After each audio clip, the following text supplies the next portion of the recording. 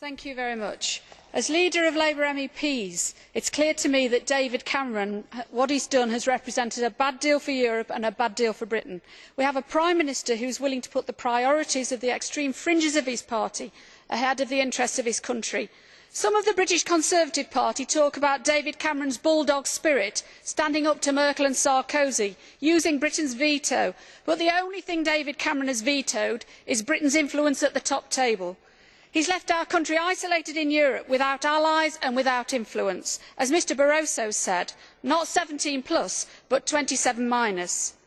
Cameron claims he was protecting the City of London, but in fact he has failed to secure a single safeguard for UK financial services.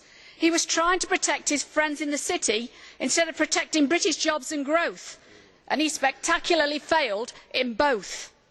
The UK Government believes their actions have, prevented the 26 from using the resources of the EU 27. This point needs clarifying.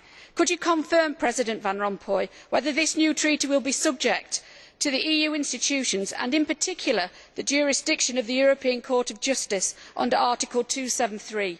Mr President, Friday was not a good day for Britain, not a good day for diplomacy.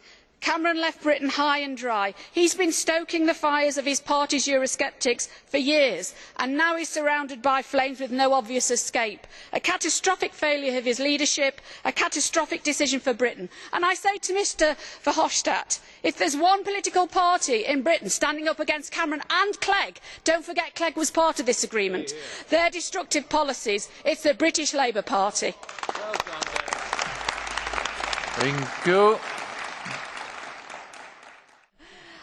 I think it is about time that uh, the, the, Liberal Democrats actually took their responsibilities seriously. They have let, this country down big time. Nobody in Britain voted for a coalition government and nobody expected the Lib Dems to do the dirty and they have.